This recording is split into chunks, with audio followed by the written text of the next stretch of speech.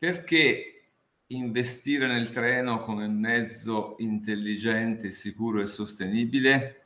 Diciamo che con il treno andiamo sul sicuro, perché ha una lunga storia e ha anche un futuro che già conosciamo, perché i treni veloci li abbiamo già sperimentati ormai da qualche decennio. Qui sulla prima immagine vedete un treno nuovo, è un blues, questo è un treno ibrido trimodale, cioè viaggia con l'elettricità sulle ferrovie elettrificate, viaggia con il motore diesel dove non c'è elettrificazione e nelle stazioni delle ferrovie che non sono elettrificate può andare a batteria, quindi senza alcun tipo di inquinamento. Sono treni nuovi, arrivati da poco, e sono quindi come ibridi un esempio di tecnologia del treno che si evolve. Della ferrovia naturalmente potremo parlare molto in termini storici, ora lo accenniamo soltanto perché guardiamo invece qual è il futuro del treno. Intanto il treno ha portato lo sviluppo, lo ha portato a partire dal XIX secolo, quando il treno era, l'unico legame tra la vita civile e il eh, contesto in cui si trovavano le comunità minori, perché all'inizio la ferrovia arriva nelle città principali, poi si estende nei paesi e in questi paesi, prima nelle città e poi nei paesi, porta allo sviluppo economico. Che vuol dire? Vuol dire per esempio che i prodotti che prima erano soltanto locali cominciano a diventare nazionali si aprono negozi di prodotti che prima non si trovavano perché arrivavano dall'industria e quindi questo diciamo dà luogo ai mercati nazionali. Oggi siamo alla ricerca invece, invece della filiera corta, quindi di prodotti del territorio, ma allora c'era una forte ricerca di prodotti che venivano da altri luoghi perché tutto quello che non si aveva a casa poteva in questo modo con il treno e con i nuovi negozi, nuovi, il nuovo commercio poteva essere presente anche nei paesi. Chi non aveva il treno d'altra parte viaggiava a cavalli, quindi sembrava fermo al Medioevo. Il treno dà per la prima volta una rete nazionale, cioè c'è una rete nazionale del trasporto in cui città e paesi vengono inseriti. Quindi man mano che le costruzioni ferroviarie vanno avanti, la rete di trasporto ferroviario raggiunge molte località fino al massimo degli anni 30 del Novecento. Qui abbiamo una rete diffusa un po' in tutti i paesi europei. Guardiamo che significa la rete ferroviaria diffusa, per esempio abbiamo qui una cartina del 1936 con le ferrovie dello Stato, le ferrovie in concessione a imprese locali e le tranvie. Le ferrovie in concessione sono quelle rosse, le tranvie extraurbane sono quelle verdi e vediamo intorno a Torino una rete molto ramificata che arrivava comunque anche negli altri capoluoghi e arrivava in molti paesi della campagna piemontese. Quindi le ferrovie secondarie e le tranvie extraurbane, che oggi non ci sono più, ma erano, rappresentavano una rete abbastanza ramificata, portarono i benefici della rete ferroviaria anche nelle aree periferiche, nelle aree minori, nelle aree interne, come si dice oggi. I tram quindi erano sia urbani che extraurbani. Quelli extraurbani non lo conosciamo più, non li conosciamo più perché erano tutti chiusi, ma c'erano ed erano importanti per legare eh, con la rete ferroviaria tutte le località minori. Ecco, in questa diapositiva vediamo la rete della Lombardia, che era naturalmente la più estesa d'Italia, perché attorno a Milano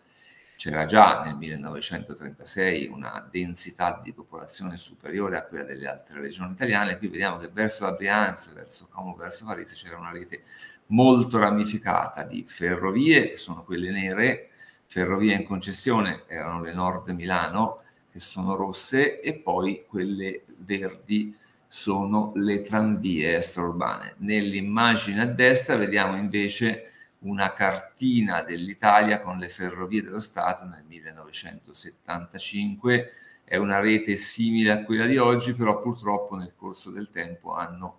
chiuso alcune tratte minori, quindi la rete è più ridotta rispetto a quella che c'era nel 1975, quindi circa 40 anni fa. Ecco, qualche esempio di chiusura, la ferrovia delle Dolomiti, questi sono, state, sono stati degli errori enormi perché hanno causato l'isolamento delle aree interne. La ferrovia delle Dolomiti che andava da Calalzo nel Cadore fino a Cortina d'Ampezzo e a Dobbiaco, chiusa definitivamente nel 1964. Ecco, oggi Cortina, se avesse la ferrovia, sarebbe dire, più sostenibile, più raggiungibile. Poi abbiamo la Spoleto-Norcia, siamo in Umbria, chiusa nel 1968. La Saline Volterra era una ferrovia cremagliera con una den- rotaia dentata centrale che aumentava l'aderenza per salire sulla collina di Volterra che c'è una forte pendenza da Saline, ecco questa chiusa nel 1958, Volterra ha dimezzato gli abitanti da allora e una delle ultime è la ferrovia della Sila tra Cosenza Camigliatello Silano e San Giovanni in Fiore che è stata chiusa dal 90, tra il 97 e il 2010 e ora si parla della riapertura perché è fondamentale per dare l'accessibilità alle aree interne e anche per far arrivare i turisti che oggi sono naturalmente un, eh, una risorsa economica importante per il territorio, lo sappiamo tutti, non c'è bisogno di dirlo, ma se c'era il treno i turisti ci arrivavano molto meglio e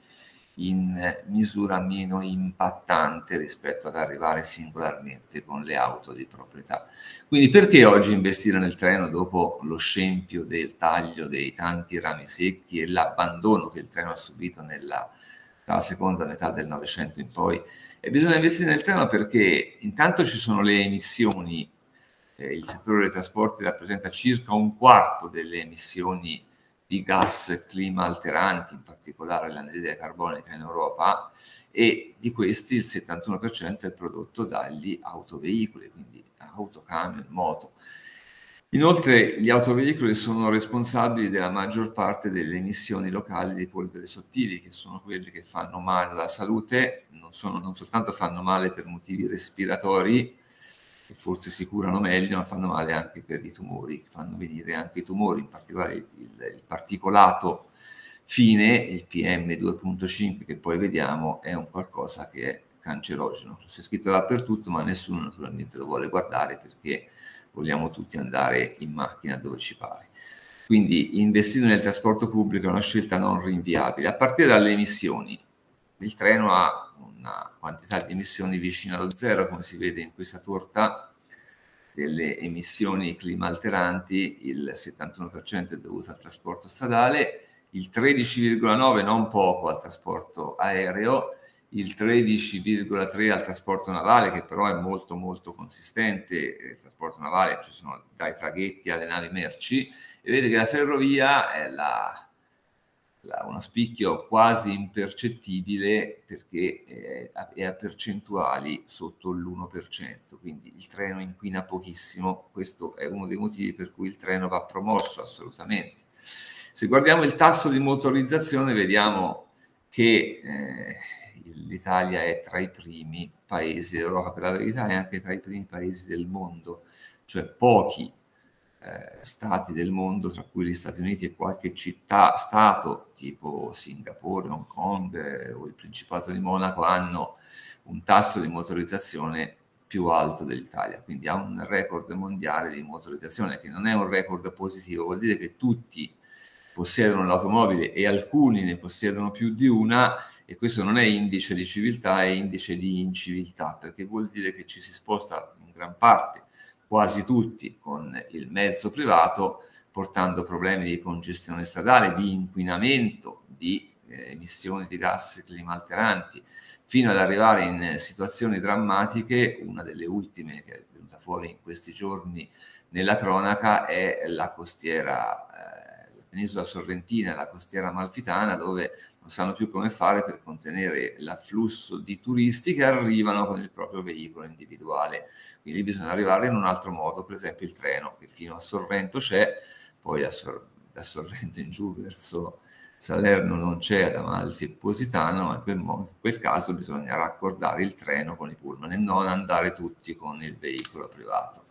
Questo è l'inquinamento del PM 2.5, è il cosiddetto particolato fine,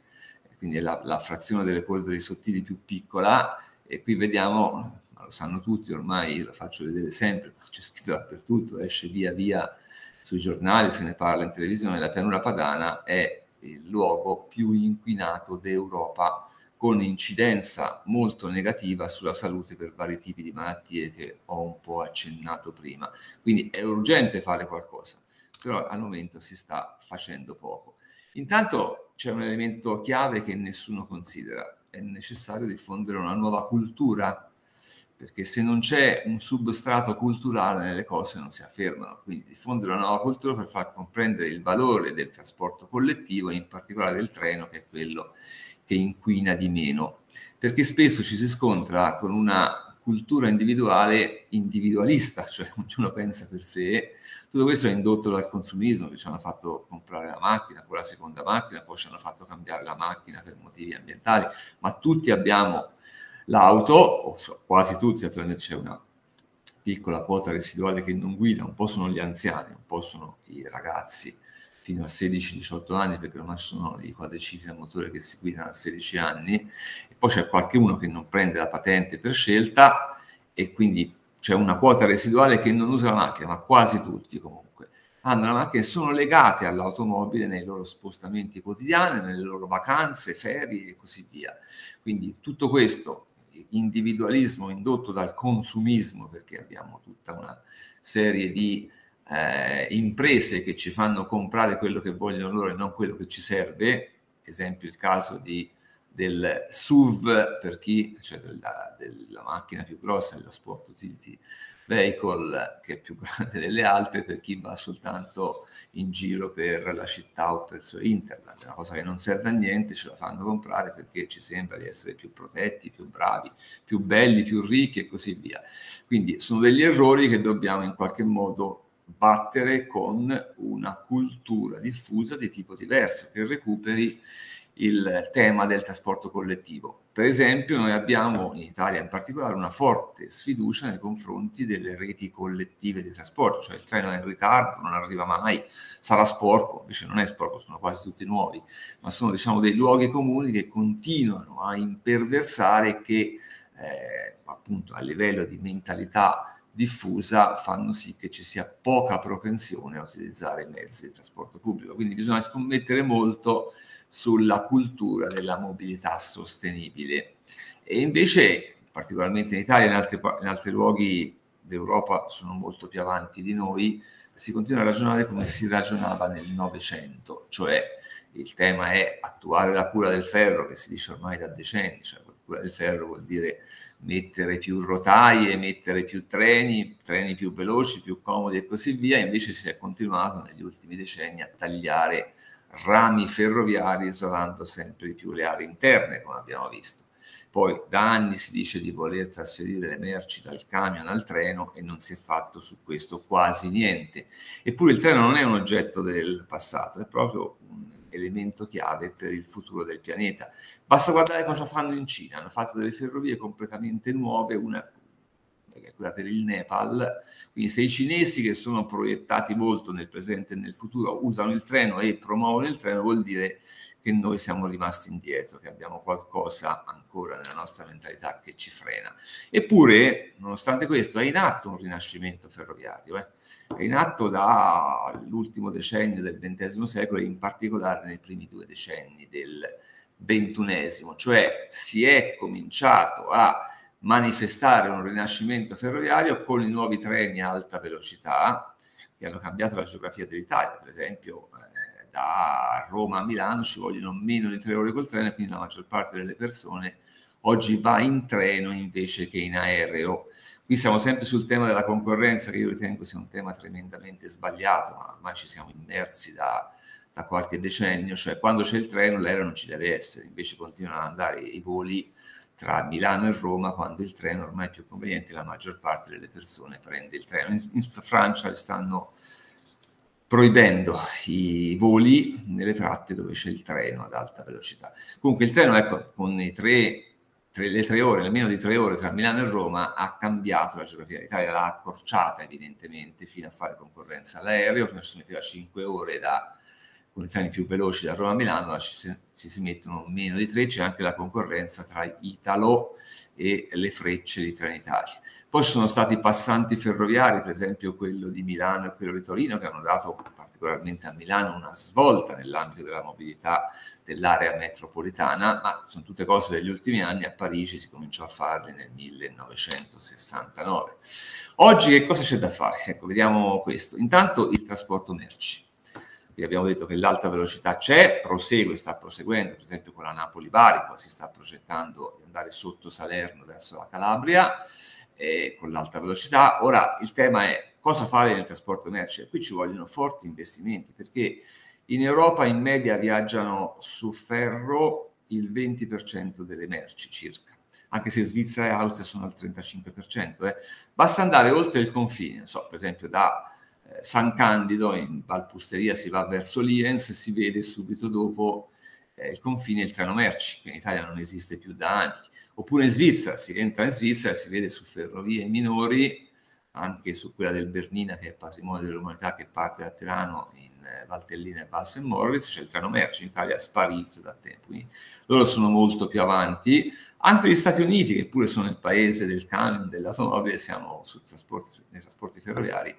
oltre il 45%, quindi vuol dire che altri paesi si sono mossi. In Italia invece siamo sempre al 13% scarso del trasporto merci su ferro, quindi è una cosa che riempie di camion le strade e le autostrade, mentre il treno merci è assolutamente residuale. Eppure dovremmo arrivare, secondo questo, quello che è stato stabilito a livello di Unione Europea, dovremmo arrivare al 30% del trasporto merci su ferro entro il 2030 sarà sostanzialmente impossibile perché non ci sono più le infrastrutture, sono chiusi gli scali, per esempio. Però c'è da compiere soprattutto un investimento enorme anche in cultura, cioè basta spedire le merci sul camion, le metti in treno. Il treno te lo rendo più conveniente, il, tre, il camion te lo rendo anche con politiche economiche meno convenienti, perché sennò continuano tutti a spedire con il proprio camion. Guardate qua questa immagine siamo in Toscana, Massa zona industriale, è un'area industriale molto estesa, provincia di Massa e Carrara, particolarmente nella città di Massa. Ecco, qui c'è un raccordo per il porto di Marina di Carrara, che è un porto molto grande ormai. Ecco, questo raccordo va come dire, a infilarsi in stradi, nelle strade dove passano macchine e camion di continuo è solo un binario, vedete, nemmeno elettrificato, non c'è nemmeno i fili sopra per i treni elettrici. Sembra che qui ci, ci passi un treno ogni tanto, mentre camion e automobili viaggiano di continuo a tutte le ore del giorno e della notte. Quindi, come dire, una presenza timida fra tante strade e centinaia di camion, che comunque c'è in questo caso e va ovviamente mantenuta, andrebbe anche incrementata. E poi a destra vediamo l'autostrada del Sole, siamo sempre in Toscana, nel tratto fra Firenze e Prato che ha tre corsie per ogni senso di marcia e qui vedete una, una fila sterminata di camion che eh, tutti i giorni, meno nei, nei, weekend perché c'è per alcune merci lo stop, però durante i giorni della settimana è pieno di camion che portano le merci dappertutto, mentre con il treno viaggia pochissimo, quindi c'è questo elemento chiave del merci da recuperare. Poi c'è il tema delle ferrovie minori, abbiamo detto alta velocità, ok, nodi ferroviari metropolitani sono andati avanti, abbiamo visto il caso di, dei passanti sotterranei di Milano e di Torino, ma ci sono molti altri interventi nei nodi delle aree metropolitane. Ecco, invece il, eh, le ferrovie minori sono rimaste decisamente indietro, indietro soprattutto per il raddoppio dei binari, cioè la maggior parte delle ferrovie in Europa sono a binario unico, cioè un solo binario dove i treni che viaggiano in senso opposto si devono incontrare, incrociare, si dice con il termine ferroviario tecnico, si devono incrociare in una stazione quando vanno uno in un senso e uno in un altro e quindi è una potenzialità di inoltre treni molto limitata. E qui si vede la situazione eh, qui siamo nel 1998, si vede che l'Italia aveva oltre il 60% della rete a binario unico, siamo qui oltre il 60%. Ci sono paesi come per esempio la, la North Macedonia o anche la Norvegia che eh, sono vicine al 100% con il binario unico e altre invece, eh, per esempio c'era ancora il Regno Unito e eh, qui siamo sul binario unico a percentuali del 30% quindi molto meno. Il Belgio è vicino al 20% con il binario unico, vuol dire che l'80% è almeno a doppio binario o binario quadruplo. Quindi anche su questo c'è da investire perché altrimenti le ferrovie diventano lente, molto lente, piuttosto irregolari e quindi non sono appetibili per il trasporto in particolarmente dei, via- in particolare dei viaggiatori, anche se diciamo, è un freno pure per le merci. E qui nel 2018, 20 anni dopo, guardiamo soltanto l'Italia, è scesa sotto il 60%, ma è ancora con rete a binario unico oltre eh, il 50%, quindi la maggior parte delle ferrovie italiane continuano ad essere a binario unico. Quindi ci sono due modi di spostarsi, il treno veloce che viaggia a 300 km h o poco meno in altre tratte, per esempio tra Firenze e Roma la vecchia direttissima consente velocità di 250 km h altre diciamo, ferrovie si stanno realizzando non a 300 km h ma un po' meno, però diciamo questo è il treno veloce, ha acquisito anche una sorta di fiducia da parte delle persone che si spostano con questi treni e poi dall'altra parte ci sono i treni pendolari che intorno ai grandi nodi hanno avuto un potenziamento notevole negli ultimi anni Dopodiché le ferrovie minori, quasi tutte a binario unico, invece sono molto lente, ancora irregolari e quindi continuano ad avere quella percezione negativa tipica della seconda metà del Novecento che ho detto prima. Eh, quindi questo era il 2018, quindi io vi ringrazio per l'attenzione. E a Siena abbiamo anche istituito un laboratorio per l'educazione alla mobilità sostenibile, si chiama LEMOS in sigla, cerchiamo di insegnare nelle scuole, naturalmente anche all'università, anzi a partire dall'università cerchiamo di insegnare questi nuovi concetti del trasporto collettivo, particolarmente su ferro, perché è quello che inquina di meno, che è più comodo e che diciamo, dà una maggiore garanzia di regolarità se le infrastrutture sono a posto, cerchiamo diciamo, di far comprendere perché il treno è un investimento fondamentale per la sostenibilità del pianeta e per anche gli spostamenti quotidiani laddove il treno è presente. Non arriva dappertutto, anzi arriva un po' meno di quanto arrivava negli anni 30, però la rete ferroviaria c'è ancora, va utilizzata e va sfruttata più possibile. Grazie per l'attenzione e una buona giornata.